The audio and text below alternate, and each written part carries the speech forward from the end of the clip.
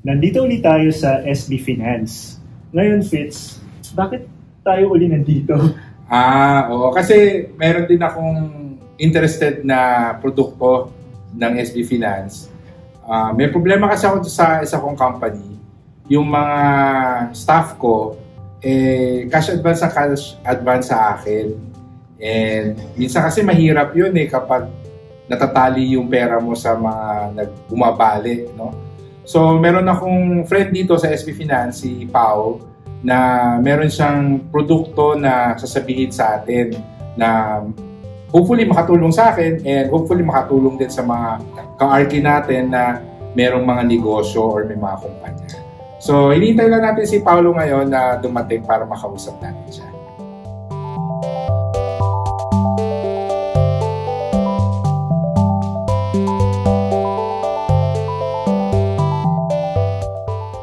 Fitz! Uy! Pao! Kamusta? Ayan. Si... Long time. Si Marian nga pala. Hello, hello. Hello, hello, hello. Ayan.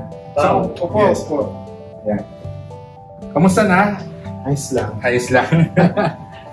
so, kanina kinikwento kay Marion na kaya kami nandito kasi interested ako dun sa produkto ng SB Finance, Uh-huh. yung e-salad. No? Salad. O, nung nabasa ko, ano ba, pagkain ba yan? Pero I'm sure hindi, di ba? Ah, So, yun sana yung gusto kong i-inquire sa'yo kasi baka gusto kong kumuha para sa company ko. Can you tell yung ating mga ka-RT kung ano ba yung e-salad? bale, yung e-salad, sabi mo nga, ah, parang pagkain na parang, Actually, um, it stands for Employee Salary Advance.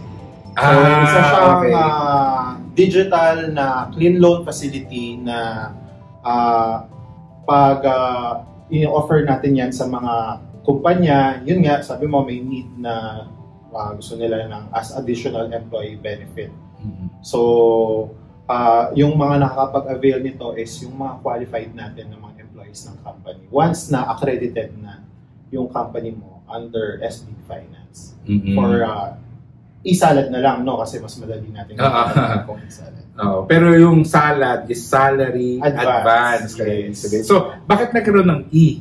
Kasi online lang pwede mag-apply, gano'n? Yes. Ka- kasi under SB Finance, yung facility natin na to is ah, ah, ang journey niya is digital. So online Digital. tayo from ah, application hanggang ah, release ng proceeds up to repayment and after sales. Lahat 'yon Mhm. digital tayo. Pero Pao, ano ang advantage kapag sa e-salad ako mag-a-apply? Ano ang advantage ng e-salad kumpara sa ibang mga loans? Okay. Bale, kasi nga yun nga, as mentioned, di ba, ano tayo, um, online tayo, fully digital yung facility natin. So, very convenient yan sa mga employees natin. Unang-una, hindi na nila kailangan pang uh, pumunta sa Bangko. bangko or pumunta sa, usually sa HR, ganyan. Anytime, kahit naka, nasa bahay sila during their um, idle time, if they want to apply, access lang nila yung, uh, meron tayong uh, website and meron din tayong uh, app, which is yung Zuki app. Mhm. So, isa yon. Ah, pangalawa, um, yung as mentioned kanina, sabi ko is ah, clean loan facility ito, meaning hindi tayo nagre-require ng collateral, walang co-maker, at pati yung ah, kumpanya kung saan accredited yung employee na mag apply ng salary advance, hindi siya liable during ah, just in case na baka mahirapan Mag-default. magbayad, mag-default, maging delinquent yung account, hindi natin hahabulin yung company. So, for example, ako meron akong kumpanya and nag-apply ako or in-enroll ko yung company. Tama? Yes. Yun yung term ng in-enroll ko yung Ah, company. hindi. Ang ano is accredited. I-accredit. Yes, yeah. So, magpapa-accredit yung company ko sa SB Finance. SB Finance na maging ah, Parang- makakuha ng e-salad Yes. para may offer ko siya as benefits sa mga employees ko. Yes. So, katulad nga nung problem ko na madalas bumali, mag-cash advance yung mga mga staff ko, pwede ko sabihin sa kanila na mag-apply na lang, kuwari, na-approve naman or na-enroll na, no?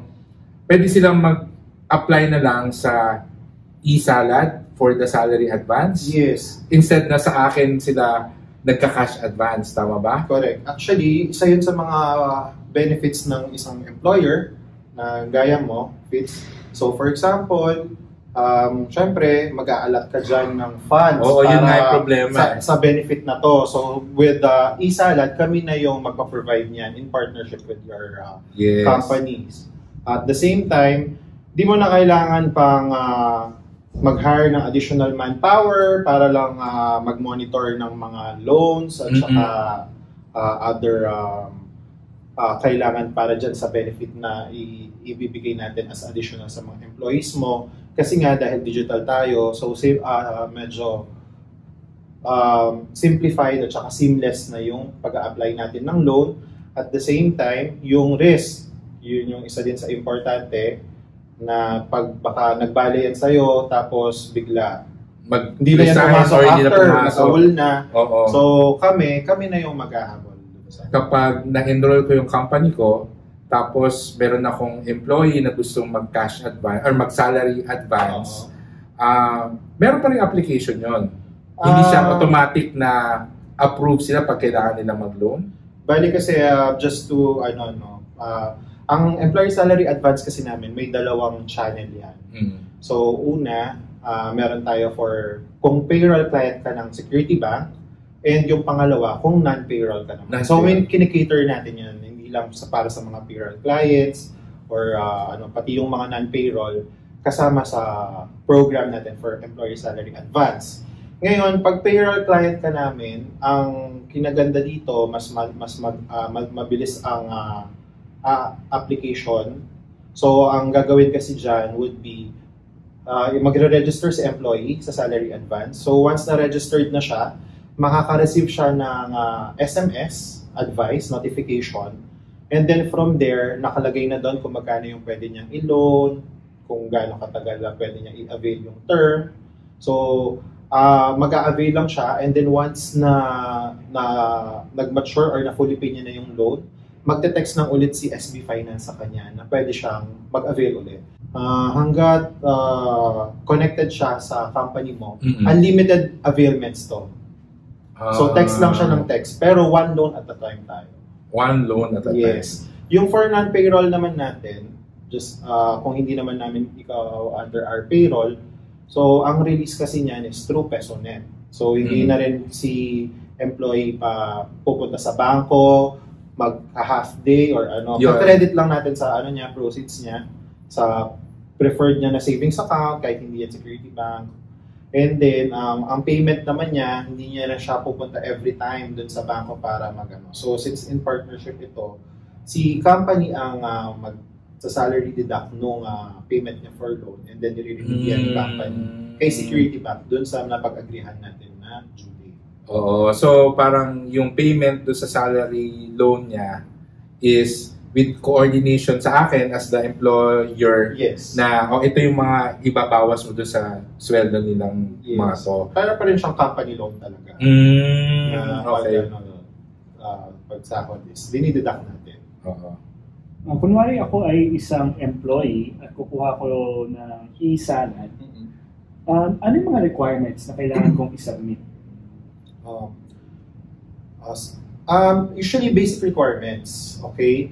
So for payroll, ulitin ko lang, um, since payroll namin kayo, ang nire-require lang natin dyan would be a latest um, or a photocopy of the company ID and government ID. So hindi na natin hinihingi yung payroll, Oo, yung mga yung payslip salary niya. slip. Yeah. Yes, kasi uh, May record meron, naman. meron na tayong record.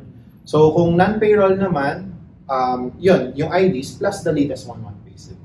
Mm. Aside from the, syempre, yung i-fill out niyan details dun sa website or dun sa app natin. Kasi dun siya mag-fill out, yun yung pinaka-application form natin.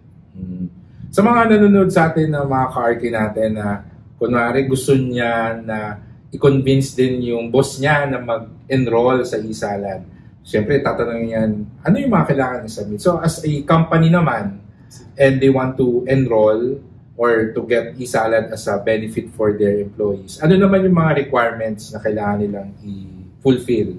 Yung nire-require natin for the company accreditation um, is the usual business documents. Mm. So, um, mga general information sheet, audited financial statement, company profile. Usually yun lang. Mm. So basic requirements lang. And then they can get in touch naman. If they are interested, they can get in touch. Pwede sila mag-visit kahit sa ang ah, Security Bank branch to inquire uh, regarding our e-salad. Or meron din naman tayo sa ating website. So Mm. pwede silang mag-inquire doon. And then uh, we will get in touch with them. For the, Usually, gaano katagal yung accreditation? Kung mag-apply ako ngayon, how many banking days before ko malaman na approved na yung company ko? ang ah, normal processing time natin is um, 3 to 4 weeks. Three Yun yung for the weeks. company accreditation. Ah, Until onboarding and rollout na ng uh, e-salad for the employees. Oo. And then as for the employee naman na mag apply ng loan, Oo. ang turnaround time natin or yung processing time natin usually takes 3 to 5 banking days. 3 to 5 banking Banking days. days. Ah. so, kunwari, medyo marami, malaki yung company ko, do you provide assistance in giving an orientation to my employees kung ano ba Yes. kung isalad na Part to? of the onboarding process natin yan sa pag-accredit ng uh, company is um, once na na-approve na, tapos uh, na-set up na yan, so pupunta tayo sa company, we do employee orientation, tapos we provide marketing uh, support, ganyan also. And uh, kung uh, kailangan nila ng financial uh, wellness, uh, Ah, actually, talaga? kino- kino-combo yan eh, together with the branch, kung ano pa yung ibang service. Para hindi basta-basta loan lang loan din, Yes. no? Kailangan tama din yung reason. Yes, para din alam mo- nila na hindi lang puro yung loan is pwede nilang magamit sa mas useful na bagay. Lang. Oo, yung mga pangbili lang ng mga bagong mga damit or sapatos na hindi naman kailangan. Yes. Kung accredited kasi si company, meron kasi tayong mga employees na meron naging financial challenges Mm. prior, di ba, the application. So marami yan na-decline sa ibang bangko and all.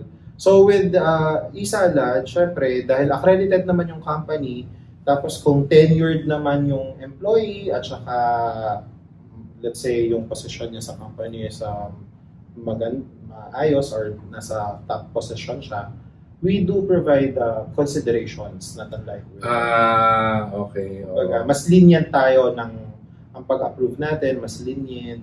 Kung mag apply ako ng loan, ah, hanggang magkano yung pwede kong i-apply? Pwede bang times 3 nung sweldo ko? Times 10 ng sweldo Actually, ko? ang basis ng computation natin uh, for the approval uh, amount is based on our net income. Kasi ang gusto ng Okay. SB Finance, lahat ng deductions muna is um, after deductions, dun mag-base yung computation. Oh, Pero okay. we can extend up to times 8 of the times 8. yes, of the net income. Net Yun, dun, income. dun sa based dun sa fixed uh, income ah. Mhm. meaning yung basic uh, plus kung meron siyang mga kung meron siyang mga let's say overtime or mga incentives, ganyan, commissions, yun, um, nire- nagre-require lang tayo ng additional ano, part of it, ini-include natin siya dun sa net income. Ah, I see. And then, pwede silang mag-loan up to 2 million Oh. with a maximum of um, 36 months. So, wide variety yung terms natin. They can sa- they can uh, choose from 6 months, 12, 18, 24, 36 months. Oo. Depende dun sa gusto ni client.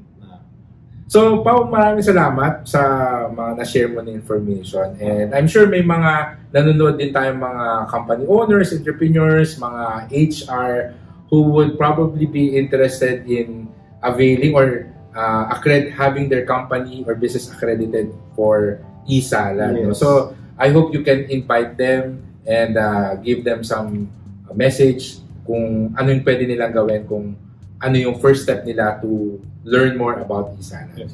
Uh, yun, if you are uh, interested to have your company be accredited of the employee salary advance as an additional employee benefit for your employees, um, you can visit any security bank branch or you can access and um, go through our website. So from there, you can contact us and we'll get in touch with you as soon as possible.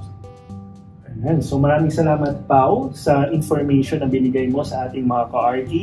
Until next time mga ka-Arky, sana nagustuhan niyo itong video na to. Don't forget to thumbs up, like this video, subscribe to our channel, and watch our live stream every Thursday, 7.30pm Manila time. Till next time mga ka-Arky, Yeah. Thank you, Paolo. Thank you, thank you, thank Bye-bye, mga Arky.